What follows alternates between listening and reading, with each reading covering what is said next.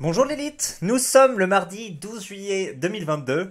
Un nouveau soleil se lève sur notre beau pays et aujourd'hui je vous propose de faire une petite vidéo à l'ancienne. Voilà, l'idée va être bah, de redescendre un sujet qui a beaucoup fait parler sur le forum euh, cette dernière semaine et de, lire un peu les, commentaires de chers forumers et de, de commenter dessus. Donc voilà, si vous avez raté cette histoire ou si vous y avez été partie prenante, je vous propose de vous y plonger. Euh, le sujet du jour, vous l'avez vu dans le titre, c'est un père de famille qui a forcé deux barrages physiques euh, dans, son collège. D'abord, d'abord, je vais vous lire après le, truc plus en détail, mais voilà, il a forcé le collège pour aller retrouver le harceleur de son fils et le, tabasser, hein, pas simplement le, corriger ou l'éduquer euh, de manière, comment dire, de manière physique, voilà, mais vraiment d'y aller, d'y aller franco. Donc il y a, des réactions contradictoires de la part des forumers, hein, des personnes qui, approuvent son geste d'autres qui, qui le tempèrent ou le, ou le désapprouvent. L'idée va être de redescendre ça. N'hésitez pas à, partager, enfin voilà, à réagir dans, les commentaires sur cet état de fait, même si il y a très peu de contexte, ce qui est un peu un problème, mais bon, on va, voir s'il y en a de plus au, au, fur et à mesure des pages. Ben voilà les clés, je vous retrouve après le générique. C'est parti, envoie le générique, paf.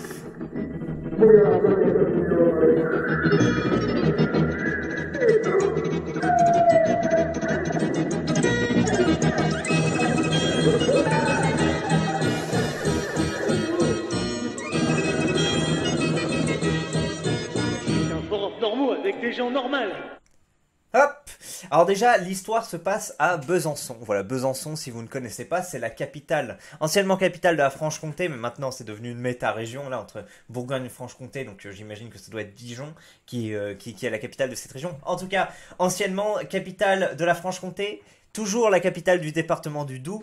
Et je rappelle pour ceux qui aiment le fromage hein, que, et oui, on, ne le sait pas forcément, mais le comté ne peut être produit que dans trois départements, à savoir le Jura, euh, le Doubs et l'Ain. Voilà, même en Savoie, en fait, on peut pas produire de comté puisque tu, dois venir d'un de ces trois départements, donc c'est fou. Tout le comté qu'on mange en France, eh bien, ne, vient que de, que de trois départements. Donc voilà, mardi 28 juin, un individu s'est présenté au collège Voltaire de Besançon dans le Doubs. Un assistant de prévention et de sécurité a tenté de l'empêcher de pénétrer, mais l'homme a forcé le passage. Alors, est-ce que vous aviez, vous, des, des assistants de prévention et de sécurité dans votre collège? Je sais pas, moi, on n'avait pas, enfin, on avait des, des, des, pions, des surveillants, comme on appelait ça, mais peut-être que c'est le nouveau terme, hein, assistant de prévention et de sécurité. Alors, on va se renseigner en direct. Hein. Petit copie collage, euh, petite recherche. Voilà, assistant chargé de prévention. Euh, le nombre des adultes présents est un agent contractuel pour assurer dans les établissements scolaires. J'ai l'impression que c'est comme technicien de surface pour, pour la, la femme de ménage ou, enfin femme ou homme de ménage. Donc euh, voilà, mais dites-moi si vous savez plus. Le principal de l'établissement a essayé à son tour de lui barrer la route. En vain. L'intrus l'a bousculé et menacé. Ce père de famille cherchait un élève qui harcelait son fils et est parvenu à le trouver. Il a alors roué de coups de poing au visage l'adolescent. Au moins, c'était des coups de poing. Au moins, il n'y est pas allé comme certains ingénieurs en position, vas-y, euh, double, double pied sur la nuque ou écrasement de tête, enfin, ce, genre de choses. Les policiers, arrivés sur les lieux, ont interpellé l'agresseur et l'ont placé en garde à vue. La victime, les parents et le proviseur ont porté plainte. Une enquête a été ouverte. Première réaction, ce daron terres, putain. Mérité pour le harceleur, et là, il y a quatre autres personnes qui, euh, plus soit, voilà, mérité pour le harceleur, mérité pour le harceleur, etc.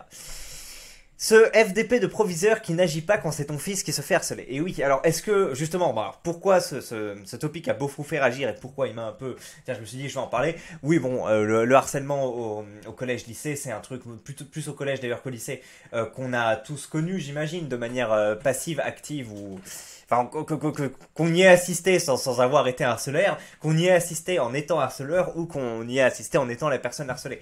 Surtout sur le forum voilà, du 18-25 comme on, l'a déjà dit, hein, c'est plutôt un certain type de personne qui va se retrouver et c'est plutôt bah, des personnes qui étaient en marge, un peu exclus des, groupes et qui donc pouvaient euh, potentiellement être plus harcelés que la moyenne euh, euh dans, voilà au, collège surtout. Moi je voilà je faisais partie des euh... alors j'étais pas spécialement un Célestin parce que Célestin ça sous-entend qu'il est qu'il est très timide etc moi je faisais euh, je faisais des, des, des réactions. Enfin j'essayais de faire rire les gens je faisais voilà des, des blagues j'essayais de faire réagir de faire des trucs comme ça. J'étais pas spécialement Célestin mais ça m'empêchait pas de ne pas avoir de, de copains voilà au, au, collège. Et donc oui vu que je pouvais dire de la merde de temps en temps. D'ailleurs, j'ai remarqué que ceux qui, enfin, parce que c'était plutôt ceux qui justement disaient de la merde comme ça et, présentaient un peu des aspérités, le, des aspérités sur lesquelles s'accrochaient, qui s'en prenaient plus la gueule que les autres. Euh, les mecs qui étaient plutôt discrets, tout ça, et ben, au final, euh, enfin, je sais pas, moi, moi après j'étais dans, dans, un collège privé, c'est peut-être différence, mais j'ai l'impression que les, les, les, mecs qui étaient plutôt discrets ne, s'en prenaient moins euh, dans la gueule que, que nous, on va dire, que ce, ce, ce sociotype de, je sais pas comment dire, de de bout en train euh, sans amis, voilà. vous avez dû connaître ça, quoi. Euh, et oui, effectivement, donc euh, petit petit cassage de couilles régulier. Nous, on a eu la chance de, de grandir dans une époque où il y avait peu d'écrans, voilà, alors que maintenant comme on dit, hein, bon, c'est un classique, hein, mais euh, voilà, le, le, harcèlement s'arrête plus, euh, plus, euh, plus à l'école. Maintenant, tu peux te faire, les mecs peuvent te faire chier. Bon, à mon époque, il commençait à avoir Facebook, mais maintenant, c'est encore pire avec Snapchat, TikTok ou que sais-je. Donc, il y a, y, a, ce truc-là. Et à côté, on sait que c'est très difficile pour les professeurs de réagir.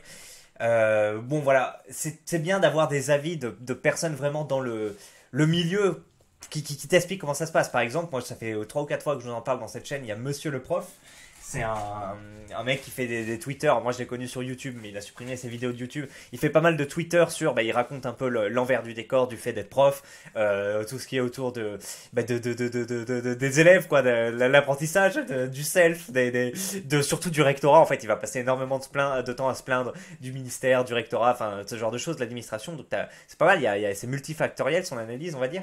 Et ben oui, il a fait plusieurs, plusieurs fois des réactions par rapport au harcèlement, notamment un, test, un texte cette année je crois que c'était en janvier, hein, qui était très intéressant. Le truc était, c'était, je sais pas, ça devait faire 2000 euh, mots, hein, donc c'était pas une dissertation, enfin presque une dissertation, c'était quand même euh, assez épais.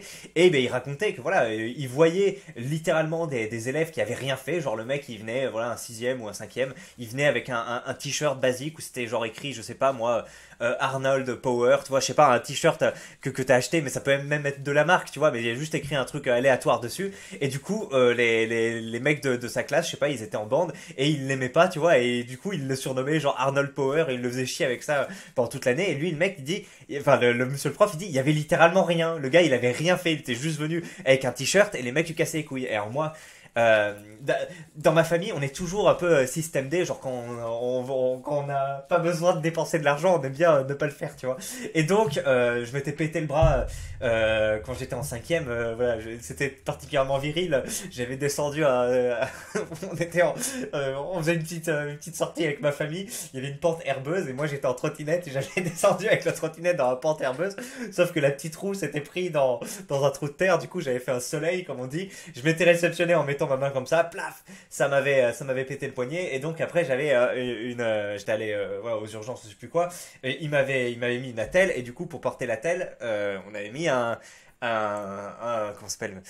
En fait, soit t'as des trucs spécifiques que t'achètes en pharmacie, tu vois, tu as acheté 10-15 balles, je sais pas. Mais, euh, moi, comme je ferais avec mes enfants ou comme moi, mes parents m'ont fait, on a pris une écharpe ou un truc, tu vois, genre un châle, et on, on faisait comme ça. Et du coup, j'allais à l'école avec ce truc, et euh, les, les, petits bâtards de ma classe me, me cassaient les couilles là-dessus. Euh, euh je sais pas, j'ai pas souvenir exactement de, de, comment ils me saoulaient, mais ils me saoulaient. Et moi, grosse famille contrasociale, tu vois, bon, c'est vrai que je pratique des sports de combat de, depuis relativement jeune, mais quand même, on est dans une, dans une position dans la famille typiquement française. Hein. Vous pouvez lire les BD de Cédric, d'ailleurs, ça fait plusieurs fois que je vous en parle, quand, quand vous comparez un peu le niveau de pugnacité, etc., des, différentes ethnies en France, on va dire.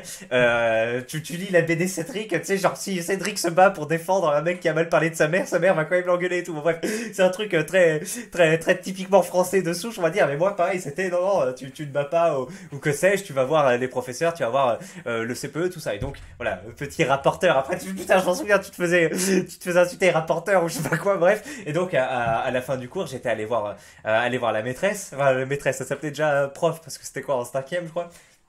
Donc avec mon truc et je dis ouais euh, euh d'ailleurs c'était pas des QLF qui me cassaient les couilles hein, c'était des Français hein.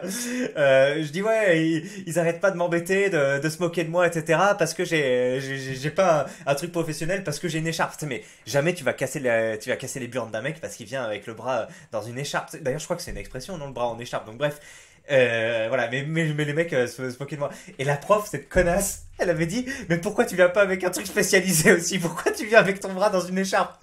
Donc c'était lunaire, c'était lunaire. Je m'en souviens, et ça, je c'est pas un faux souvenir autre. Je m'en souviens vraiment que voilà. Donc là, la, la, la, la professeure était en position, bah, je m'en bats les couilles, mais qu'est-ce que tu me racontes genre?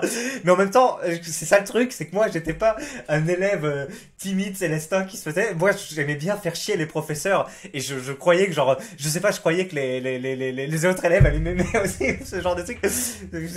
Divulgachage non. Donc il y avait il y avait ce rapport compliqué. J'emmerdais vraiment mes, professeurs. Euh, voilà, je faisais des trucs débiles. Et de l'autre côté, du coup, bah, ils avaient ils me disaient oui, bah, d'accord, les autres te harcèlent, très bien. J'ai envie de dire karma, tu vois. Donc j'avais ce truc-là. Après peut-être que pour d'autres personnes, d'autres profils. Mais bon, dans tous les cas, si, un élève va te voir comme ça, tu mets un peu tes inimitiés de côté avec un gosse de 11 ans et tu. Euh, en plus, moi j'avais sauté une classe, donc j'étais un peu plus jeune. Donc il euh, y, a, y avait ce truc-là.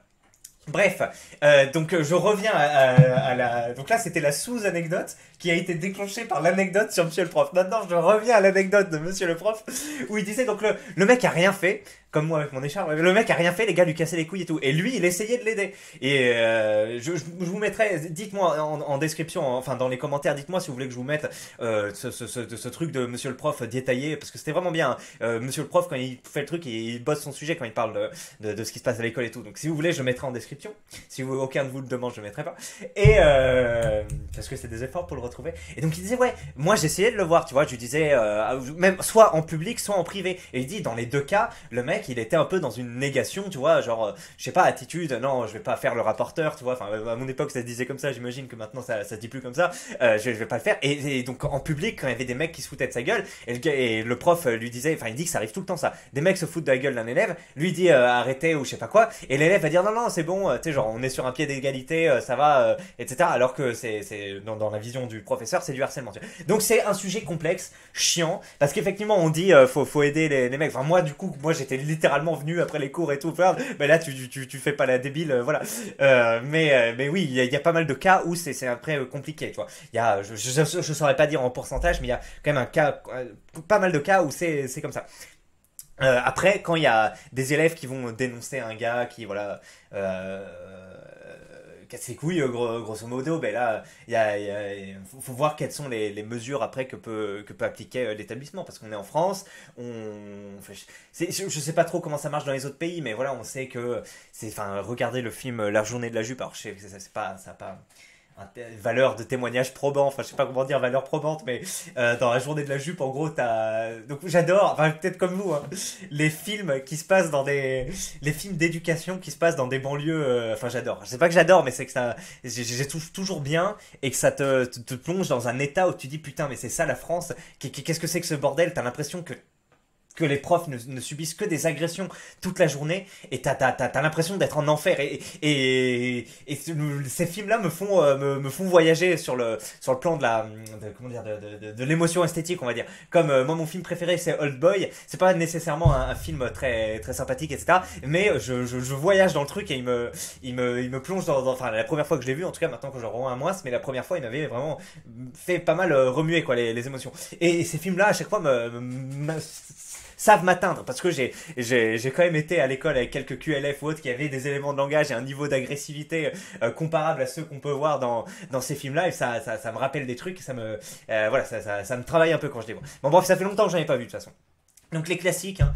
il y a euh, La Fracture avec euh, avec l'acteur de Neuilly sa mère justement, où c'est euh, ben, l'acteur de Neuilly sa mère avec euh, son pote français de souche qui capture un, juif parce qu'ils ont un juif dans leur salle et il, en gros il y en a un qui se pète putain comme moi il se pète le bras en fait il se pète le bras c'est un juif qui le qui lui répare son bras et sauf que il lui sert trop son truc et après alors que l'acteur la Samy de, de Neuilly sa mère voulait devenir mangaka ou mec de BD, ben son bras reste atrophié. Vous avez déjà vu, moi j'avais un oncle qui avait un bras atrophié, le truc est comme ça. Donc du coup, t'as as, le bras après comme ça toute ta vie. Et donc comme il est comme ça, il perd ses perspectives. Et le film est vraiment est génial.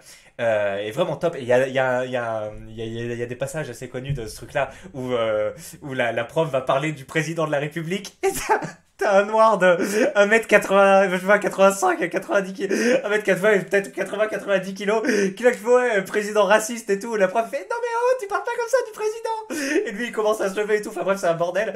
D'ailleurs, ça me rappelle une scène de Monsieur le prof où il raconte justement que quand il a commencé en tant que prof, donc il fait quand même 1m85, euh, il était là avec des, des, des quatrièmes ou des troisièmes, je crois. Il, il fait le premier cours et euh, il y, a, il y, a, des élèves qui, qui font le bordel et il, alors voilà, il donne pas plus de détails, mais il dit à un moment, il y a un élève qui. Lui, il dit, euh, je sais pas, arrête de cheaper ou autre. Et il dit que l'élève est venu se lever et a fait un, tête à tête avec lui. Donc un élève en quatrième ou troisième, tu vois, euh, directement comme ça. Donc euh, challenger physiquement le professeur pour, pour son premier ou deuxième jour de cours, tu vois. Donc tu, tu, putain, tu dis, ok, quel enfer. Quel, pour, pour ce salaire de misère, pour cette reconnaissance. Parce qu'il y, y, a les trois quarts des gens qui, qui, qui, te cassent les couilles, qui t'envient parce que t'as plein de vacances, qui savent pas combien tu bosses, etc. T'as tous les parents d'élèves maintenant, ils sont complètement changés de paradigme, ils sont là en position. non, non, euh, c'est mon fils qui a raison, genre pourquoi vous lui mettez une mauvaise note et tout? Bah, c'est devenu un enfer. Et, et on sait très bien maintenant, ils ont du mal à recruter. Enfin, et ils ont, ils ont, euh, et puis les, les, gosses sont de plus en plus agités, agressifs. Enfin, j'ai l'impression de, de, ce que je vois. Puis euh, c'est peut-être à mettre en relation avec euh, peut-être le taux de drépanocytose. Voilà, je ne fais qu'avancer. Je ne fais qu'avancer des hypothèses que j'ai vues ça et là sur le bah, Bref, il y a, y, a, y a ce truc-là. donc oui, quel enfer de devenir professeur. Moi, c'est un truc qui m'attire. Hein. toutes les je sais pas, pas, pas, toutes les semaines, mais assez souvent j'ai envie d'être prof, tu vois. ça, ça, m'intéresse ce truc-là. Alors après, bon voilà, si vous avez déjà joué à League of Legends avec moi, que vous êtes un débutant, vous direz, mais où est ta, ta pédagogie? À la boxe, je suis quand même relativement pédagogique, non? Vous, vous avez pas forcément tous vu, mais bref, on en était où? Euh donc euh, donc euh, c'est le bordel ouais euh, donc il capture il capture le juif et à partir de ça ben, c'est la fracture genre la fracture entre le mec qui s'est pété le, bras et puis petite fracture au, niveau au niveau de la société donc là déjà tu vois bon c'est très profond sa fracture au niveau de la société et vous voyez le délire il y a il y a un petit il y a il y a il y cette ambiance là Deuxième film, La journée de la jupe. Alors c'est peut-être le plus, le plus mémorable des trois. Hein. C'est incroyable avec Isabella Gianni qui est une prof de français il y a des élèves, bah là je crois que c'est limite du lycée, hein, mais c'est euh, c'est des lycéens, euh, du lycéen, genre euh, les mecs ils ont des bonnes dégaines de dealer ou autre, enfin c'est déjà des, des, des hommes en constitution. Après on sait que les acteurs qui sont censés être, euh, qui incarnent des personnages mineurs, sont souvent majeurs pour des raisons de droit, de rémunération, tout ça. Et donc là, c'est sans doute des majeurs qui jouent le truc, mais bon, euh, ça aussi, pareil, t'as pas envie d'être, de donner des cours à ces personnes 8 heures par jour, tu vois, genre, non, non, c'est, euh, c'est assez complexe, surtout quand t'es une femme, que t'as pas forcément là, des, des, arguments que d'autres, d'autres personnes ont. Donc bref, il y a, il y, a, ce film là, bon voilà, il y a un mec qui fait tomber son pistolet, elle prend le pistolet, elle pète un câble. Euh, gros film sous tension, euh, assez incroyable. Et le, dernier, bah, c'est Entre les murs. Après, il y en a d'autres qui est sorti, j'ai vu, il y a La vie scolaire, mais je l'ai toujours pas vu, mais il a l'air assez sympa. Euh, parce que le film, le premier film avec, euh, comment il s'appelle, euh, Grand Corps Malade là qui s'appelait Passion. Je l'ai trouvé incroyable aussi. Euh, putain, le film Passion, euh, pareil. Mais euh, enfin, les, films français, faut arrêter de. Ouais, c'est en général les films français. Je, suis bien.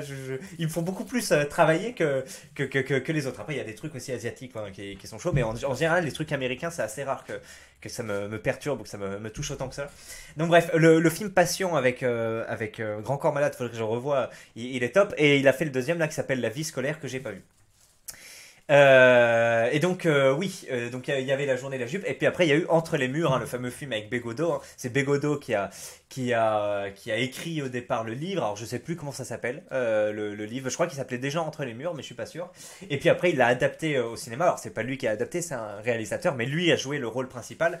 Et bah, c'est pareil, c'est génial. Enfin c'est une classe avec un très haut, très fort taux d'immigration, avec voilà plusieurs toute la désillusion du professeur quoi qui, qui, devient prof qui voit que les élèves ils stagnent ils ont des des, des, des heures et de l'énergie perdue en pleine jeunesse pour apprendre des trucs qu'ils auront soit pas appris soit oublié directement. À la fin il y a une meuf qui est vite fait contente parce que sa sœur lui a fait lire un, un petit passage d'un truc. Enfin c'est voilà. C'est ce qu'il pense de l'école c'est ce que je pense aussi et c'est ce que la plupart des professeurs qui, qui vont aujourd'hui se disent c'est bon d'accord c'est une garderie pour gosses euh, où on envoie des, des meufs diplômées alors qu'elles sont enfin surdiplômées par rapport à ce qu'on attend d'eux. Euh, ça devrait être réformé, oui, mais sauf qu'on leur dit, bah, envoyons l'armée ou je sais pas, euh, faisons des trucs comme ça. Non, non. Euh, il. Donc je sais pas, moi, qu'est-ce qui. Mais oui, c'est clair que quand tu vois ça, tu dis, bon, putain, ça sert à rien. Les, les mecs, tu leur apprends, tu leur apprends des, des, des, tonnes de trucs. Il y en a quasiment quasiment la, la, la, la, plupart vont, vont, vont sous-performer, vont, vont rien retenir, mais comme on doit quand même maintenir, euh, maintenir ce, niveau d'études pour pas qu'il y ait des gens qui, qui sortent qui soient pas diplômés, enfin, c'est une espèce de pyramide de Ponzi, mais c'est pas vraiment le terme, bah, tu dois maintenir des gens, euh, ne pas les faire redoubler, leur donner des points, des rattrapages, parce que les mecs ils ont dit bonjour et, ils ont réussi à dire trois phrases, tu vois, c'est tout un délire euh, avec le, le, bac qui est de plus en plus facile, et enfin, tout, ça. Et bref, faut faire tout un travail, revalorisation des filières professionnel, euh, je sais pas moi, il y, y, a plein de choses, mais le problème, c'est que voilà, quand, une fois que, que tu viens d'un métier manuel, enfin on le sait, euh, tu, tu veux pas que ton, tes enfants le fassent. Pareil, les immigrés de première génération qui bossent dur, qui font éboueurs ou que sage, qui lavent les, les, RER e et tout, ben, ils veulent pas que leurs enfants et leurs enfants qui grandissent ici, ils veulent pas faire ça. Donc à la limite, ce sera caissier, vendeur, enfin un truc du tertiaire. Mais au, bout d'un moment, tout le monde veut, veut, s'élever euh, socialement, sauf que non, on peut plus. On peut plus, il y a, y a trop de, métiers du service, il y a une pénurie, il y a, y a plein de trucs euh, manuels, professionnels, enfin, qui, qui pourraient s'apprendre des lycées professionnels euh, techniciens qui, euh, qui sont en manque. Et bref, une grosse déstructuration parce que les gens veulent viser autour, au-dessus de ce que le marché propose. Des masters poubelles ou euh, soit TV. Enfin voilà, on sait, plein de masters qui, qui servent à rien et les gens continuent à faire ces trucs-là. Puis au final, ils finissent caissiers. Enfin bref. Et tout ça trouve ses sources dans ce, dans ce système où, où, qui, qui, pas assez, assez, assez strict tout simplement. Enfin, assez. vous voyez ce que je veux dire on s'est du sujet, non? Il est temps de se, repositionner là-dessus. Les parents qui portent plainte, s'ils avaient éduqué différemment leur gamin, ça ne serait leur gamin, ça ne serait jamais arrivé. Ouais, ouais. Après, est-ce que c'est vraiment une question d'éducation des enfants? Oui. Oui, oui, quand même. Euh, après, tu sais, tu peux pas savoir hein, si ton si ton gosse, il, il, a des référents culturels ou il a des potes qui, l'entraînent en dehors de, de, de, de, l'éducation que tu veux donner. Et puis après, voilà, ils ont ces comportements. T'es pas au courant de ces comportements? Tu peux pas te douter hein, que, que, ça arrive. Et... Donc c'est compliqué. Mais oui, c'est clair que tu dois, euh, tu dois dénoncer le harceleur. Si normalement ton fils t'en parle, toi tu parles aux parents. Enfin, moi je, sais que j'aurais pas de vergogne. Et après, faut avoir parce que vu comment les, les, les, parents, les parents sont tellement des, des merdes aujourd'hui, euh, vu comment ils critiquent tout ça, je, je sais pas trop si vous êtes des parents d'élèves qui avaient des enfants harcelés. Est-ce que vous êtes vu des parents? J'imagine que selon l'origine euh, des parents, doit y avoir un, niveau de dialogue qui, qui varie. Euh, qui varie euh, qui varie pas mal mais euh, ouais il y a puis en plus parfois les, les, gamins sont pas sont pas tout blanc tout noir quoi dans, dans, les, dans les équations parce qu'il y en a un qui peut se faire harceler parce que je sais pas il y a eu un truc tu vois. Donc après le, le, parent il va garder le grief. Puis on sait voilà enfin comme je vous disais il y a, y a des cultures qui valorisent plus la violence le truc hein, comme je vous en ai déjà parlé, Marvel Fitness, Chef Otagu, tout ça, euh, les, leurs parents leur disaient, mais s'il y en a un qui t'emmerde, tu le frappes, ou ce genre de truc, tu vois. moi, moi, on m'a jamais dit ça, on m'a toujours dit, euh, justement, tu frappes pas, tu vas voir le, truc. Donc ça fait. Et du coup, si toi, tu essayes de parler aux, parents qui éduquent comme ça les enfants, tu leur dis, euh, c'est pas normal, qu'ils cassent les couilles et tout, et le, mec, il peut très bien être en position, bah non, c'est normal, ton fils, il a pas voulu lui prêter sa règle, ou je sais pas quoi, tu vois, et tu, tu peux être bloqué comme ça. Alors après, voilà, je sais pas comment ça peut escalader ou autre. Euh, mais euh, mais c'est un truc assez compliqué. Je me souviens que j'avais vu un, un témoignage sur le forum où le mec disait que justement euh, c'était lui un père de famille et que justement il s'était embrouillé avec un, un père. qui vient de ces fameux attends, bon bref un maghrébin qui s'était embrouillé parce que son fils cassait les couilles à, au sien et du coup après le maghrébin était venu était venu chez lui bref il s'était embrouillé le gars avait appelé la police et tout, donc c'est tout un bordel. Donc il y a, y a un sujet, il y a un sujet euh, à, ce niveau-là, donc avec, avec le personnel éducatif, avec la police, enfin voilà. Euh, pas, trop, pas trop de trucs, mais oui, donc est-ce que c'est qu'une question d'éducation? J'avoue, il y a une question d'éducation, effectivement, on peut, pas ne, on peut ne pas avoir les mêmes référents culturels, etc. Après, il y a même si tu éduques ton gosse différemment, il peut sortir un peu du, du chemin. Voilà. Ce manque de détails de l'article originel est derrière ah, l'article originel est derrière un paywall. Ah d'accord, mais peut-être que quelqu'un va déverrouiller le truc. Euh, il faut régler ça démocratiquement, monsieur. Ta gueule, femme T'essayes de mettre une loi anti-laïcité ou autre et t'as le, truc qui passe comme ça en plein milieu. Ouais. La République, c'est moi La version des parents du harceleur, probablement. Mon fils est très gentil, les portes lui disent bonjour. Il ne faut pas lui en vouloir, c'est un HPI précoce. Non mais stop les gars, ce n'est pas mérité du tout. À quel moment quand t'es un adulte tu vas tabasser un gamin? C'est chez les parents du gamin qu'il faut aller. Avec son daron qu'il faut se battre si ça en arrive là. Je suis plutôt d'accord avec ça. Euh, tu vas, tu vas d'abord voir euh, les, euh, tu vas d'abord voir les parents. Et puis si ça se passe mal, tu passes par un médiateur, que ce soit le personnel éducatif ou la, ou la, comment s'appelle, la, police. Mais tu, tu, enfin, c'est n'importe quoi d'aller dire. Enfin voilà, moi c'est mon, mon avis sur le truc.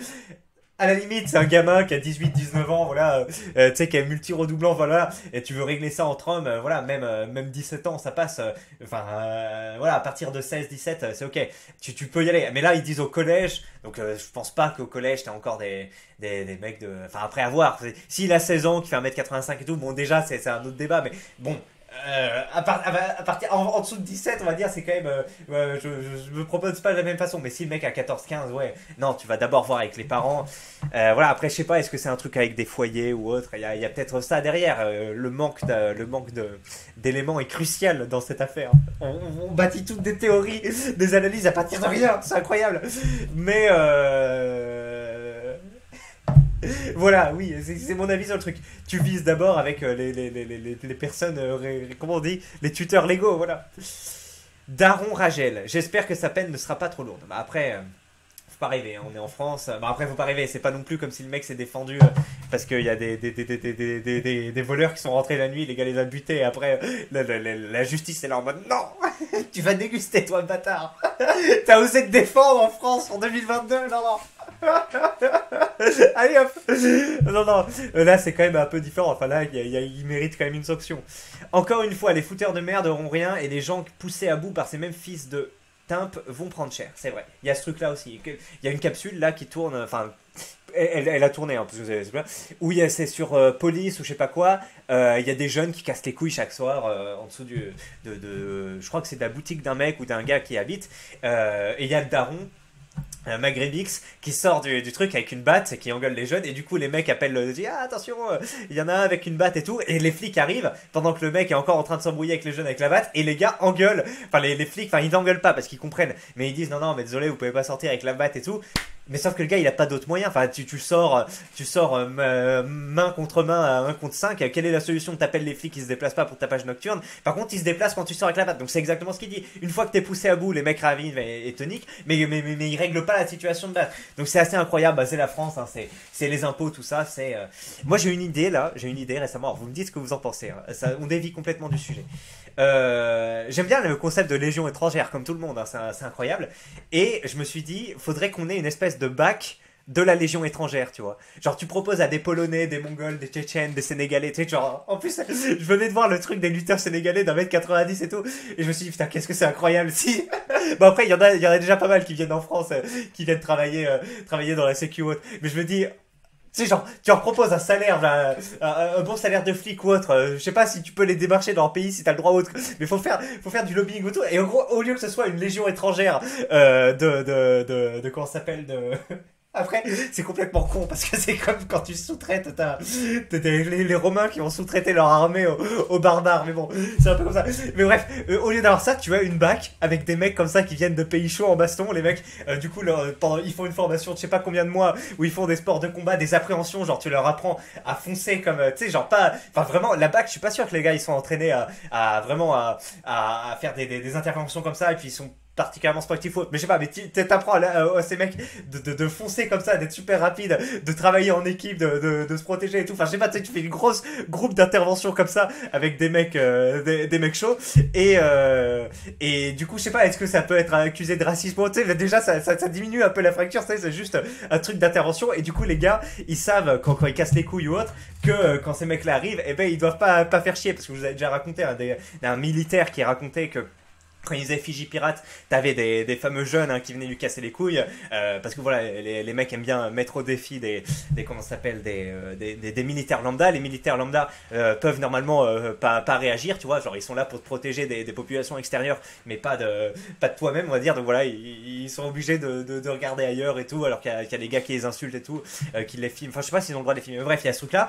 Et, euh, et par contre, quand c'est des mecs de la Légion étrangère qui viennent, eh ben, ils font ça une fois, ils se font péter la gueule avec avec euh, Pavel, je sais pas quoi, qui, déposent leurs armes et qui viennent euh, les tabasser. Et après, ils arrêtent. Alors, j'imagine que les, mecs de la étrangère, ils font un peu casser, enfin, un peu casser du sucre par, euh, la hiérarchie derrière. Mais bon, euh, les mecs, ils sont dans une disposition mentale différente. Et donc, bref, peut-être que ce serait la solution pour maintenir l'ordre dans, ces endroits, voilà, avoir ces trucs-là. Comme ça, les mecs, ils savent que les gars, ils peuvent arriver en deux minutes. Tu peux pas les tracer parce qu'ils sont tous athlétiques.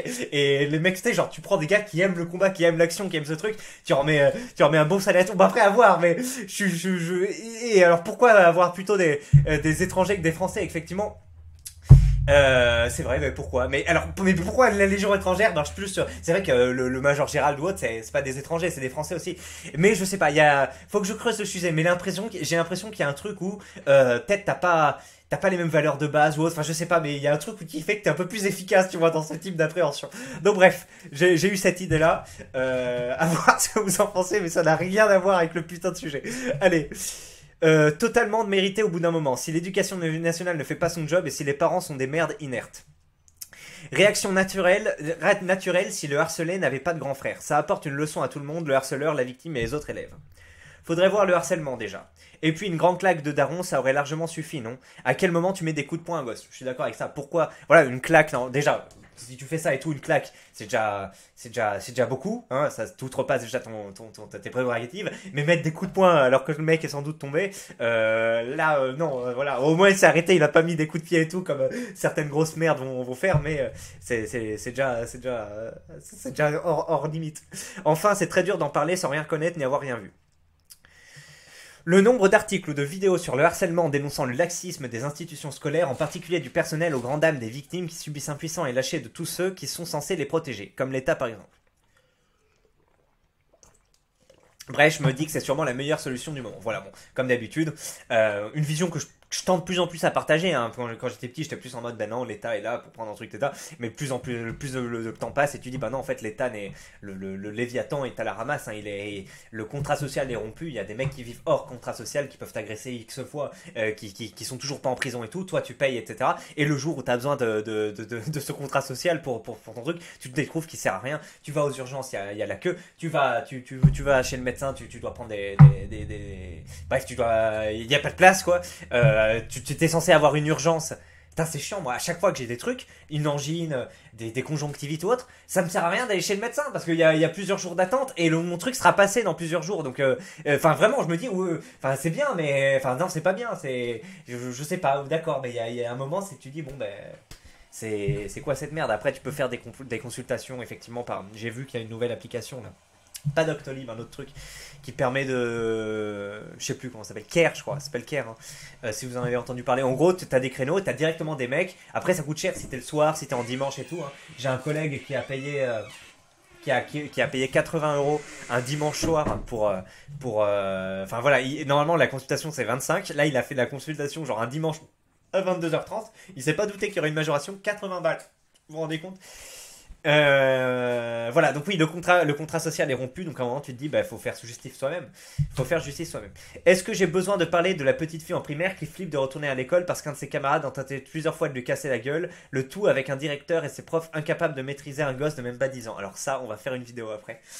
Euh, je sais plus si Passette en avait parlé, mais ça, je vais en faire une vidéo. Putain, c'est n'importe quoi. Ah, ah, Exactement, le gamin de 10 ans a commencé à tirer les cheveux, à tabasser la meuf. Et la prof n'a pas réussi à le maîtriser, donc c'était incroyable. Euh, on va aussi, on va, on va faire la vidéo là-dessus parce que dans, dans quelques vidéos, faudra laisser un peu de temps, mais c'était, c'était assez ouf. Allez, harcèlement ou pas, un adulte n'a pas à démonter à coup de poing un mineur, il va prendre très cher. Euh...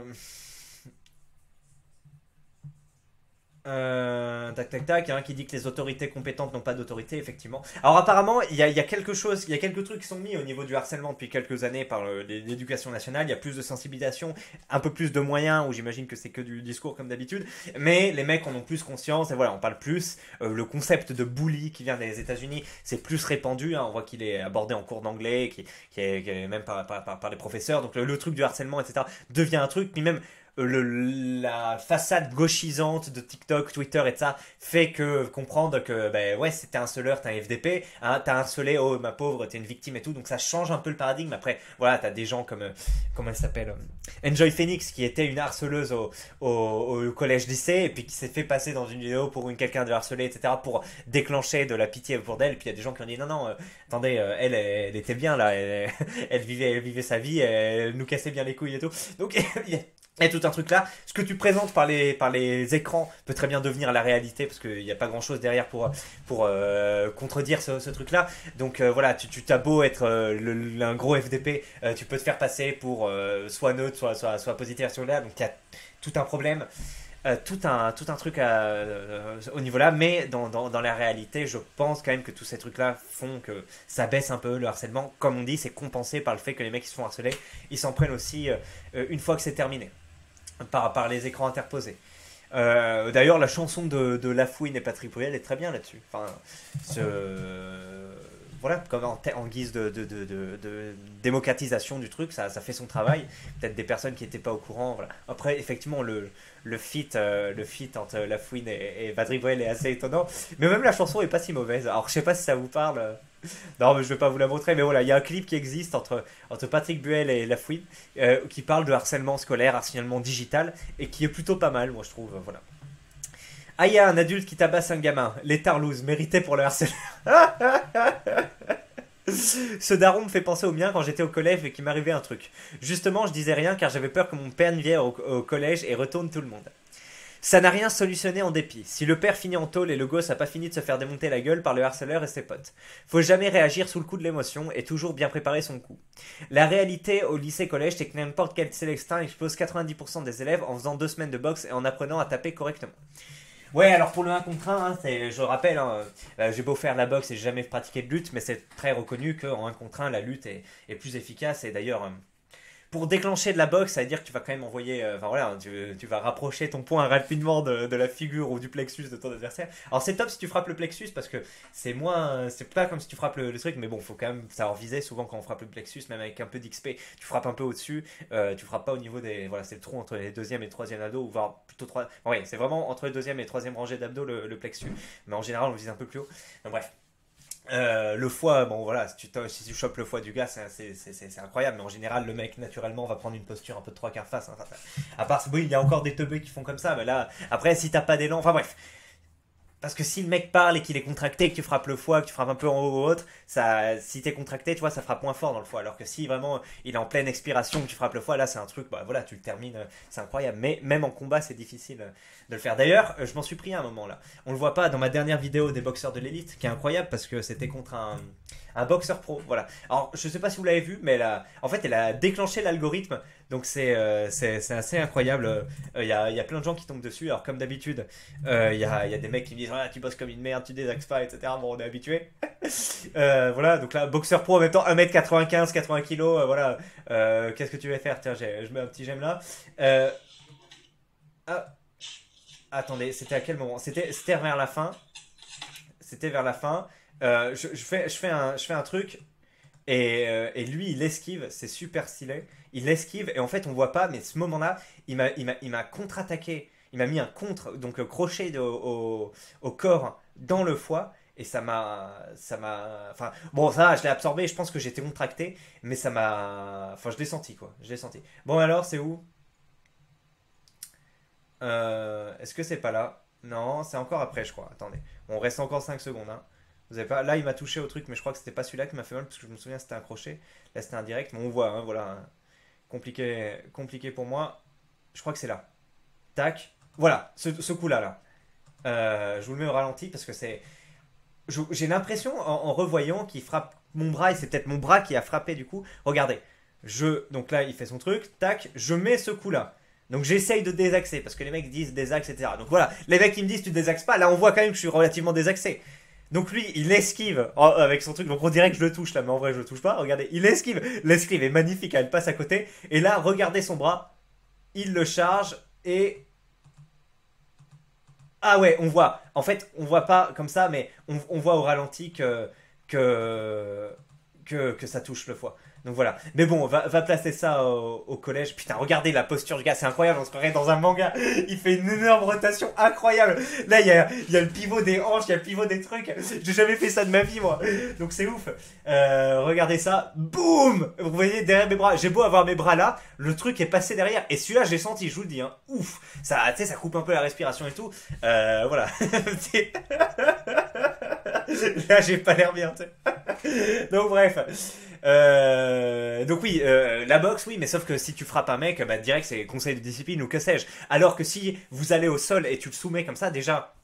Euh, c'est plus efficace parce que même, même si tu fais euh, même, même si tu frappes ou autre enfin on, on, sait jamais tu vois c'est comment dire c'est tu si tu domines quelqu'un en boxe euh, déjà c'est différent entre la boxe et frapper quelqu'un pour de vrai parce que t'as des gants en plus donc ça, ça modifie un peu ta perception du truc. Alors que faire de la lutte ça change rien avec la réalité. Tu t'entraînes déjà avec ton corps.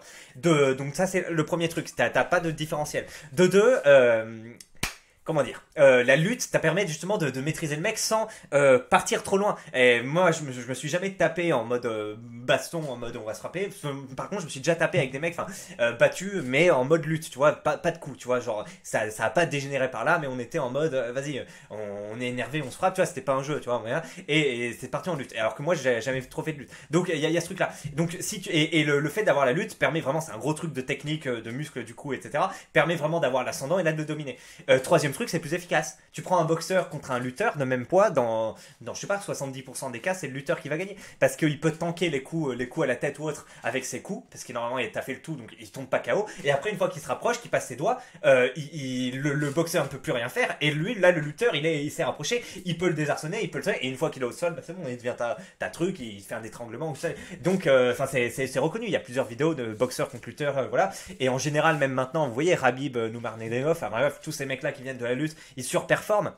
Alors c'est un peu chiant à, à observer parce qu'effectivement c'est la lutte, c'est des trucs techniques et tout, mais euh, l'être humain, les chimpanzés, enfin tous tous les, les, les, les- bipèdes sont euh, st- structurellement, physiologiquement plus adaptés à la lutte, au sport de préhension et de, de serre, de, de serrage que, que au sport de percussion. Voilà. Donc euh, voilà, euh, il parle de boxe. Alors c'est vrai, un sport de combat c'est toujours bien, surtout la boxe. Ben voilà, tu prends un coup, tu, tu, tu, tu sais que tu as les idées claires, tu dis ok, vas-y maintenant faut, faut se resserrer, faut voilà. Euh, donc un, petit complément, un stage ou voilà même pratiquer. Ou, mais moi je- j'y dirais plutôt, enfin moi mon gosse, euh, il fera de la lutte, mais il fera aussi de la boxe. Mais euh, enfin si s'il veut, voilà, si elle ou si elle ou il veut.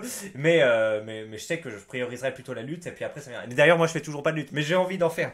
Faut faut trouver du temps dans l'agenda, mais j'aimerais bien m'y mettre un peu.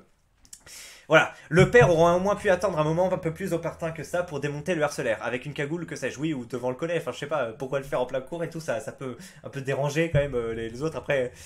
Bref. Bref, ça se réfléchit, même si j'ai pas d'idée là, ça a juste empiré le problème à long terme. Euh, sur... Ah ah, surprenant le ton général du topic. Ça rappelle de douloureux souvenirs à certains. On ne justifie pas le tabassage, enfin j'ose espérer. Mais peut-on en vouloir à quelqu'un de défendre son fils ou sa fille? N'importe qui de sensé aurait au moins essayé de faire quelque chose. Tabasser un gosse, en effet, ça sera traité par la justice et le père aura une condamnation. Mais faire au moins un coup de pression à la famille, c'est la moindre chose. Faut pas se laisser marcher dessus.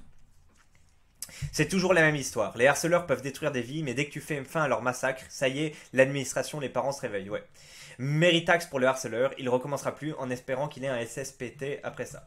Bon voilà, petit truc. Bah écoutez l'élite, je m'attendais pas à faire 40 minutes de vidéo là-dessus, mais euh, je vous propose de terminer là-dessus. Euh, on, on va pas trop revoir d'autres éléments, mais euh, voilà, j'ai bien aimé la vidéo, j'ai pu vous parler un peu de film, un peu de, de, de ce truc-là, de la lutte, du, sport de combat, tout ça. Je trouve que c'était chouette. Donc voilà, dites-moi si vous avez bien apprécié cette vidéo.